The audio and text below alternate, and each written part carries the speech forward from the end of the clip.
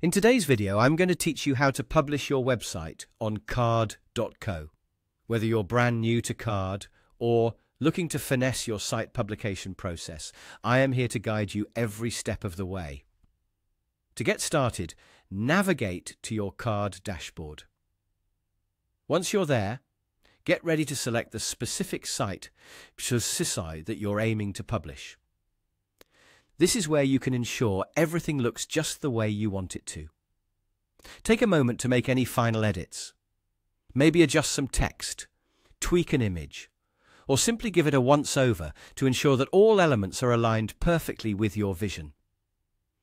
Once you're satisfied and your site looks exactly the way you'd imagined, it's time to move on to the exciting part, publishing it. Look towards the top right corner of your screen where you'll notice the Publish button, conveniently symbolized with a floppy disk icon. It's like the digital green light telling you everything is ready to go out into the world. Now, before you go any further, keep in mind that in order to proceed with publishing, you'll need to have an account on carrd.co.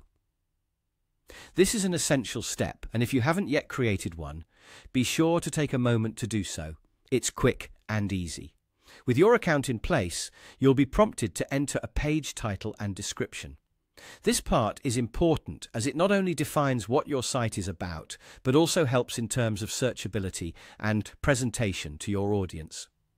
Make these fields clear, informative, and reflective of your site's content.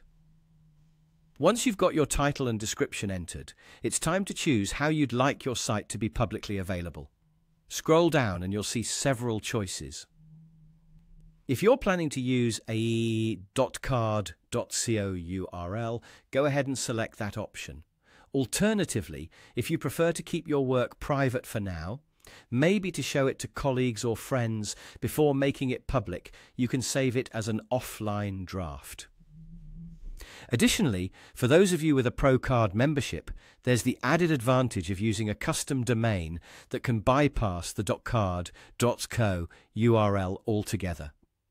You can even save it as a template for future use, which can be a real time saver if you're planning to create multiple similar sites in the future. Feeling confident in your choices? Great. It's time for the final step. Simply press the Publish Changes button, and just like that, your site takes its place live on the web. Congratulations, you've just successfully published your site on carrd.co. Don't forget to check it out to ensure everything is displayed as intended. And there you have it, your guide to going live with Carrd. Thanks for watching and happy publishing.